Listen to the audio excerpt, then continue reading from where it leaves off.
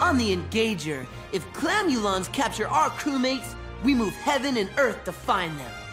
But this year alone, over 16,000 child and teen abductions have been reported worldwide due to the illegal trafficking of metahumans. Please, watch over your children. And if you see something, scream something.